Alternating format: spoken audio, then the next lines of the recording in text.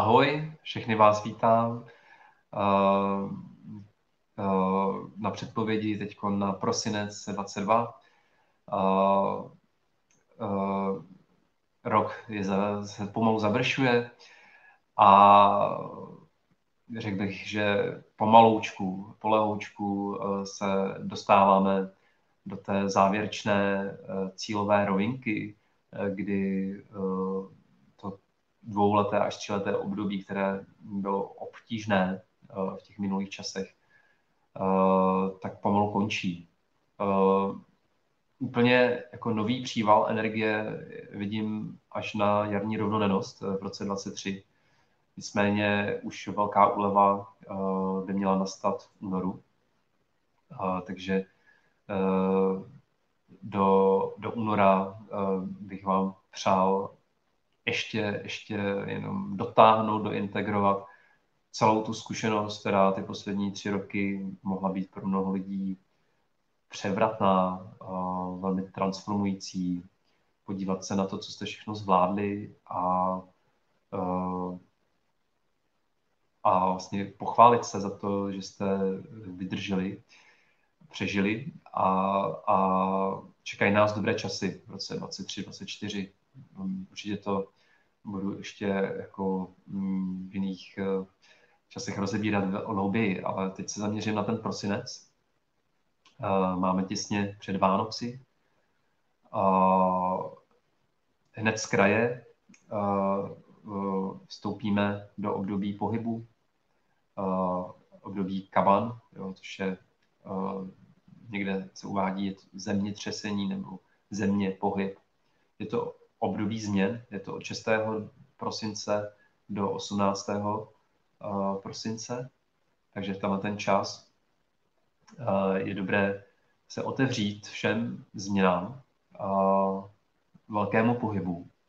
Ten pohyb eh, může nastat i ve světě, takže ty změny nemusí být jenom v té osobnostní rovině, ale může nastat i přesun lidí z jednoho místa na druhé, protože období pohybu je především o energii, o, o neviditelné energii, která se pohybuje a kterou nevidíme, ale cítíme. A tak mnoho lidí vlastně v tom čase, v tom 13 dní od 6. prosince do 18. prosince může cítit, že je potřeba udělat nějakou změnu. Eh, zároveň se ocitáme v ohnivém eh, období eh, střelce.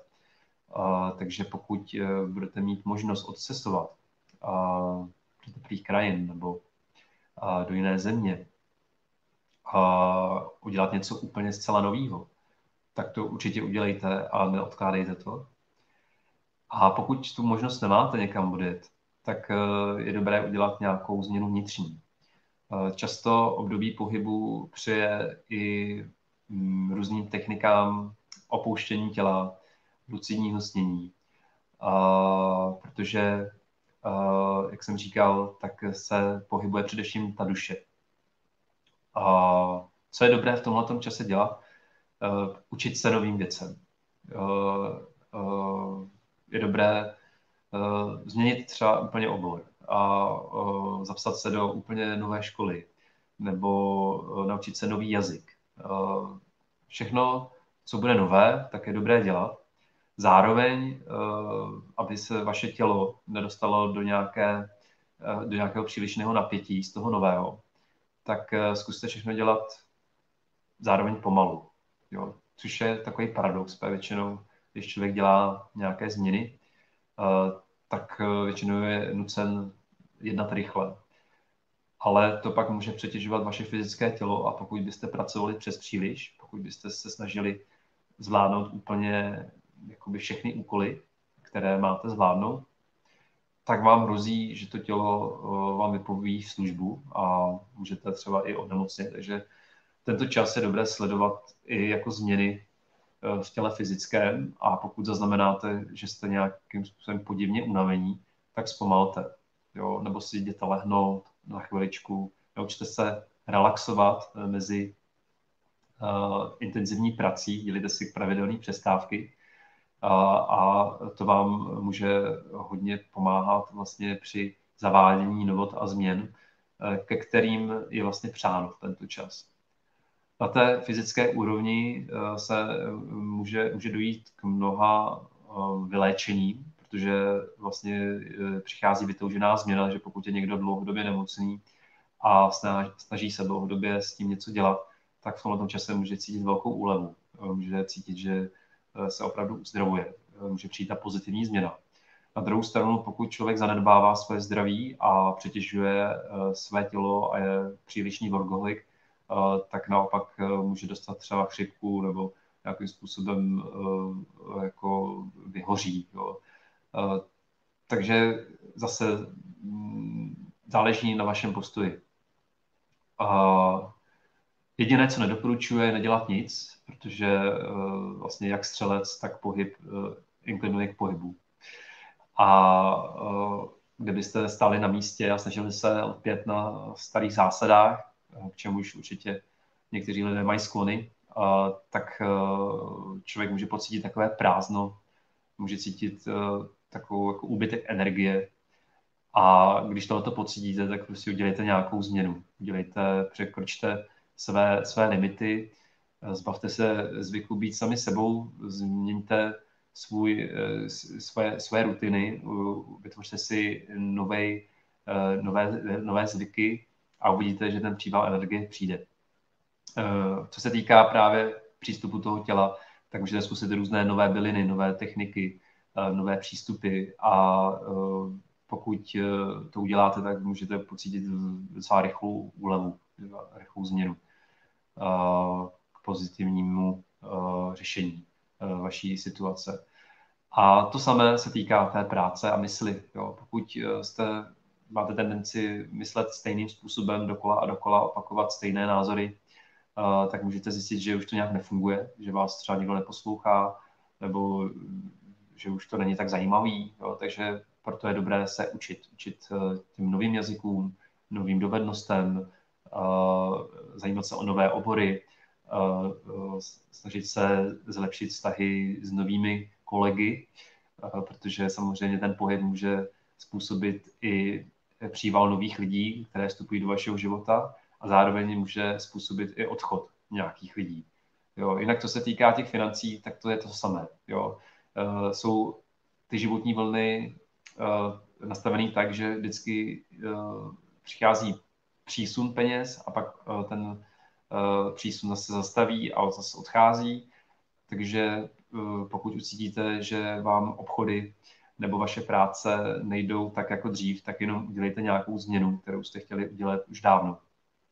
A uh, um, přizpůsobte se tomu proudu, uh, těm trendům, uh, který ve společnosti vládnou a zároveň si uchovejte samozřejmě sami sebe.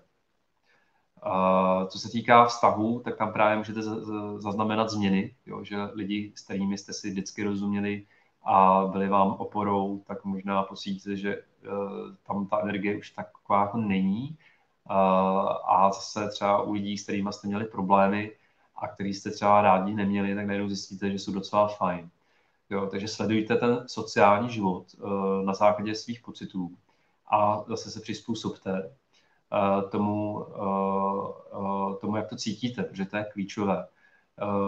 Není dobré lidi opouštět. Já si myslím, že takový to, takový přístup, že vlastně ten člověk už mi jako nic nedává, tak už na něj kašlu, to mi přijde jako neúctivý a, a není to hezký. Já, já radši uh, uh, upřednostňuji uh, termín hrát si s časovou frekvencí návštěvnosti. Jo? Pokud s nějakým vaším kamarádem nebo partnerem máte období, kdy zrovna uh, si nerozumíte tolik jako dřív, jo, tak je dobré eh, si dát trošku víc odstup, jo, dát si víc prostoru a výdat se třeba trošičku méně a to může ten vztah eh, zachránit a zlepšit. A nebo uh, zase naopak uh, můžete pocítit, že některých lidí, že na, naopak jako ten člověk vás baví a vůbec nebudete chápat, jak je to možné, protože vás dlouho nudil a najednou se s ním něco stane a může se ten vztah zintenzivnit. Jo? Takže sledujte ten neviditelný projev, který je za vším a stýkejte se i s novými lidmi, choďte do jiných kurzů, do jiné společnosti, do, na, jiné, na jiné večírky, potkávejte se s novými lidma a může to způsobit příval velmi zajímavých kontaktů. A pokud jste spíš typ člověka, který jako nemá rád lidi a je jen s nimi blízkými, tak zkuste oživit ten váš vztah něčím, nějakou novou aktivitou, jo, na kterou nejste ani jeden, ani ten druhý zvyklí. To může být taky jako velkou dobrou investicí do vztahů, které vypadají, že umírají. Jo, takže změna, to je klíčové slovo eh, pro období pohybu, eh, že to je jediná jistota, kterou máme, že vše se neustále mění. A jelikož jsme v tom čase střelce, tak doporučuji hodně naštěvovat jiná místa, na která nejste zvyklá, nejlépe eh, vzdálené země. Ale pokud jste v situaci, kdy si to nemůžete dovolit, tak stačí, když pojedete třeba do jiného města a na nějakou akci, kde neznáte téměř žádný lidi. Jo, je to zase uh, určitá jako pro mnoho lidí nekomfortní zóna, ale uh, na druhou stranu uh, vám to může přinést uh, spoustu poznatků uh, o, vás samotných a můžete objevit vlastnosti, o kterých jste ani netušili, že je máte. Co se týká práce, tak tam je příznivý čas třeba postoupit na nějakou novou pozici nebo změnit zaměstnání, eh, jít do lepšího. Někdo může odejít z práce, která ho třeba dlouhodobě iritovala. Pro všechny tyto aktivity, ty změny, novinky, je to vhodný čas.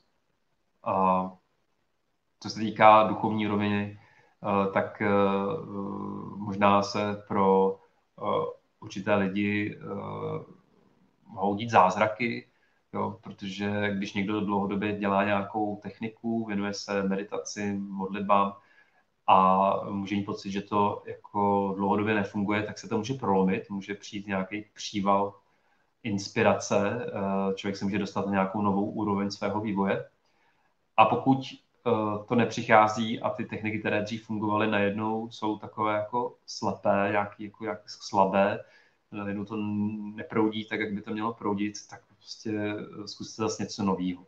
Jo, pokud se věnujete třeba nějaké jako praxi, která je pro vás kmenová, klíčová, tak vyzkoušejte úplně jinou, třeba jinou tradici, uh, zajděte za nějakým lektorem uh, z jiné země, nebo za nějakým šamanem, uh, nebo uh, za nějakým indickým guruem, kterého jste nikdy neviděli.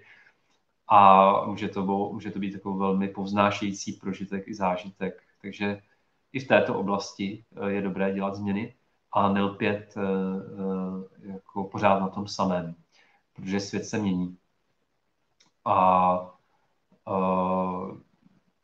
vlastně je to tak nějak, řekl bych, poslední měsíc toho, té kvadratury, vlastně toho Saturna, Urana, pak už bude jenom opravdu zeslabovat. Takže jako můžete se rozloučit s tím tříletým obdobím toho neustálého vnitřního tlaku, který neustával a který měl možná i na starosti všechny ty změny, které nemusely být vždycky příjemné. Takže ta změna může přijít už v tom prosinci, velmi jako pro mnoho lidí i příznivá. A zajímavý den v tom čase pohybu je 8.12., kdy je úplně k blížencích a, a může právě v tento čas dojít k nějakému uvědomění si, jaká je vaše duchovní cesta, čemu byste se vlastně chtěli novému učit a kam byste se chtěli podívat. Takže uh, je to osa učitele a žáka, takže tato osa jo, jako archetypu učitel žák, kterou nosíme všichni sami v sobě, je to zesta učení a předávání, tak je zaktivovaná, nebo bude zaktivovaná.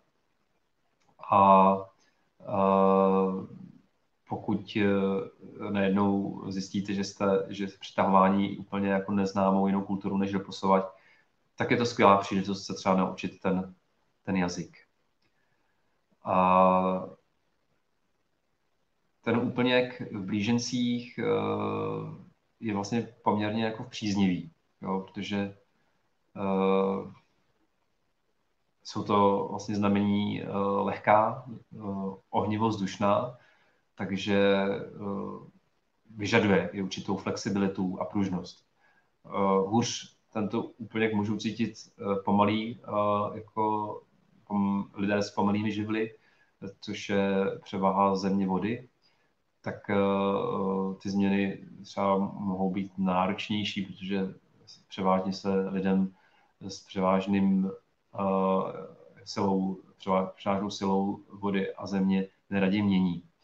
Ale uh, je dobré, říkám, překonat tu svoji komfortní zónu a uh, něco nového do toho svého života pustit a může to být začátek uh, něčeho velkolepého, protože vlastně v tom jsme přežili to nej, přežíváme to nejintenzivnější období kolektivní nějaké transformace, která teď tři roky panovala. Od 19. prosince do 31. prosince se ocitáme v období psa. To je také rovněž jako velmi hezký čas. Takže svátky by měly být prožívány přátelském kruhu, protože pes přeje přátelství s vaší smečce. Jo, takže dobré uh, si vzpomenout na své přátele, uh, na svou rodinu uh, a uh, podpořit tyto vztahy a vzájemně si pomáhat. Uh, ta atmosféra k tomu bude, uh, bude přát. A velkou silou psa je představivost, kterou můžete používat ve všech čtyřech úrovních. Na té fyzické si můžete představovat, jak se vaše tělo uzdravuje. Doporučuji si třeba na 20 minut lehnout eh, do pozice na zádech. Jo. Myslím, že se jmenuje tato asana shavasana, pozice mrtvoly. A uvolnit úplně celé tělo a nechat ho, ať se samo léčí. Jenom sledovat nádech, výdech a být si vědomi toho, že to tělo se uh, samo opravuje a můžete použít i představivost toho, jak vaše tělo je dokonale zdravé a nechat to na něm, ať se léčí. Samo a jenom ho podporovat tou představou, třeba představa zlatého bílého světla. A co se týká práce, tak uh, budou svátky, Některé obory naopak budou pod tíhou uh, té nákupní horečky, takže uh, je dobré se naučit pracovat v týmu, víc si pomáhat a mm, nechtít všechno zvládnout jenom sami. Uh, požádat o pomoc své kolegy a zároveň být nápomocný. A může z toho vzniknout další přátelství, protože období psa je příznivé pro navazování hlubokých přátelských vztahů. Co se týká vztahové úrovně, eh, tak eh, je dobré se zamyslet nad tím, jakým způsobem byste mohli být lidem nápomocní, protože pes je symbolem věrnosti, oddanosti a bezpodmínečné lásky. A eh, pes je známý tím, že i přesto, že se k němu pániček ne vždycky chová hezky, tak on je věrný a oddaný. Jo, je to opravdu jako výraz té bezpodmínečné lásky, což se můžeme od těch pejsků učit jo, jako lidi. A uh, můžete mít uh, šanci tuto, tuto oddanost a tuto lásku projevit, uh, naučit se ji uh, projevovat hlouběji a lépe. Uh, je dobré se kontaktovat s vašimi přáteli, uh, zavolat jim, uh, nabídnout jim pomoc, požádat je o pomoc, a uvědomovat si tu svoji rodinu. Nejen tu rodinu klasickou, ale tu přátelskou. A co se týká duchovní úrovně, tak je dobré se nad tím, zda máte nějaký terapeutický dar, nebo byste ho chtěli získat. A je to přesně ten čas, kdy se můžete rozhodnout, že se rozhodnete jít po cestě terapeuta, léčitele, podporovatele, a jak jsem už zmiňoval několikrát, každý máme jiné dispozice, takže si zamyslet nad tím, jakou formou by se dělat právě vy. A doporučuji pracovat s imaginací a představivostí, protože PES uh, má právě vel, velmi bohatou představivost, jako nemyslím jako lidi, kteří se v tom znamení narodili, tak mají právě uh, velký dar. Uh, dar si pomocí představivosti přitáhnout do života hojnost a manifestovat své cíle. Uh, takže sněte, sněte o tom, co by vám dělalo nejvíc dobře a um, dělejte to každý večer a uh, odevzdávejte to zdroji jako dopis, jo, který se jednoho dne vrátí v podobě manifestace tohoto přání. Ale um, zkuste se zbavit očekávání, uh, přehané lpění na tom, aby se to stalo rychle. Doporučuji si při každé uh, před, jako práce s představivostí nejdřív uh, připravit uh, uh, připravit se tím, že si uvědomíte, za co jste vděční, uh, abyste byli spokojení už tady a teď a z této pozice si přáli to nové, protože pokud si budete přát něco ze své neútěšné pozice, tak ta manifestace bude pomalejší, protože uh, vlastně to nastavení není příznivé. Jo? Takže uh, když si uvědomíte, že velký dar je už život sám a jenom to, že dýcháte, je velký dar, jenom to, že máte své, svou rodinu nebo přátele, uh, tak to vás může naplnit a z této pozice pak je dobré uh, si hrát a přát a představovat si, co hezkého do života chcete přitáhnout.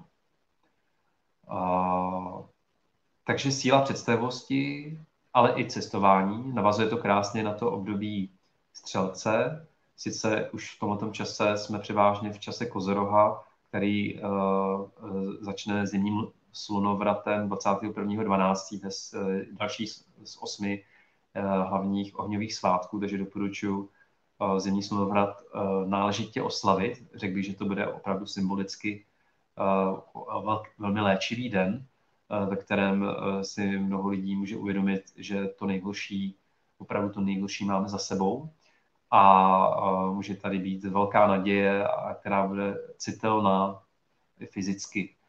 Může to být velmi léčivý čas, ten zimní slunovrat. Doporučuji opravdu oslavit v, v dobrém kruhu přátel a lidí, které máte rádi. A novoluní je 23.12., takže den před Vánoci bude novoluní v Kozorohu na druhém stupni kozoroha.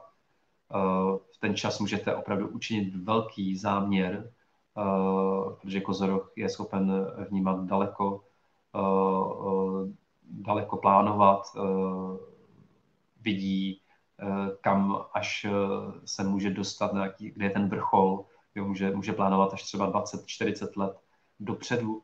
Takže tohoto novoluní můžete využít k posílení svých dlouhodobých záměrů a je, to novoluní spadá na den Jaguára, takže uh, je to velmi silný den, uh, ve kterém si můžete uvědomit, co je vaše pravda, protože Jaguár je vždy věrný sám sobě a dokáže být sám, stejně jako Kozoro, takže uh, je tam trošku paradox.